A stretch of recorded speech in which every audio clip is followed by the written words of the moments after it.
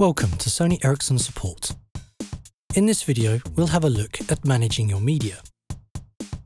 You probably already have a music, photo or video collection on your computer. Why not enjoy them on your phone? With Media Go, you can not only manage and transfer files, but also get your non-compatible media converted into a format your phone can play back. If you have PC Companion installed, you can install MediaGo from there.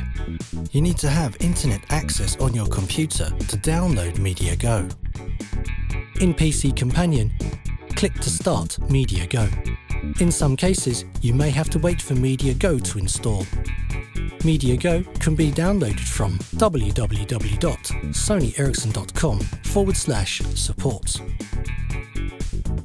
When MediaGo is started, it's time to connect your phone if you haven't already done so. If you have a newer computer, simply connect your phone using the included USB cable, and your phone's memory card should appear in the pane to the left. This easy connectivity is thanks to the new media transfer mode, which is the default connection mode. However, if you have an older computer, the phone memory card might not appear by itself, and you have to switch to the mass storage mode on your phone. To do this, drag the status bar downwards and tap Connected in Media Transfer mode. Then tap Change to Mass Storage mode. Drag the status bar downwards again and tap Connect to your phone, and then Connect phone memory card. In Media Go, your phone should now appear in the pane to the left. Here you can see the music, video clips, photos and other files stored on your memory card. In the upper part of the pane, you can find the media on your computer. If you don't find the media you want to transfer, do the following. Click Tools, then Set up Assistant. Then click Next. By default, the music, pictures and video folders are added. If you have your media elsewhere, click Library Folders and add any folders you want to include. Then click OK. When you are satisfied with your selections, click Next. Decide whether you want to participate in helping make Media Go a better application or not, and click Next. Decide whether you want Media Go to automatically look up song names or not, then click Next. Lastly, click Finish.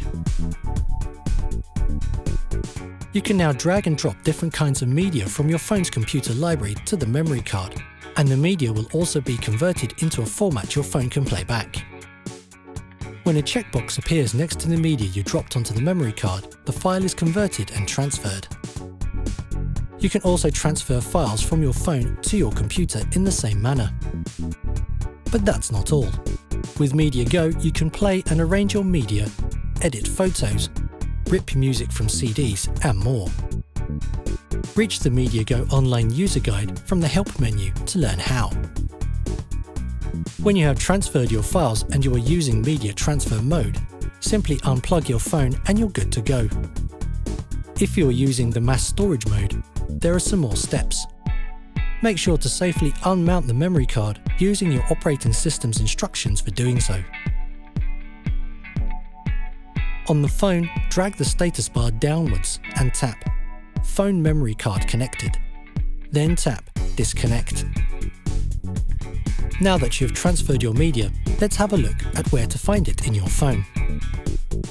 In the application screen, simply tap the icons for Music and Gallery and reach your media. On the home screen, you can also add the Media Shortcuts widget to more easily reach your media. Press and hold on the home screen. Tap Widgets and then Media Shortcuts.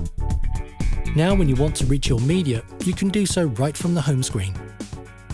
Simply tap the icons for music, pictures or videos and enjoy.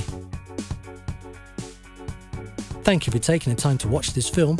You'll find more information about your phone by visiting the support zone where you can improve your user experience.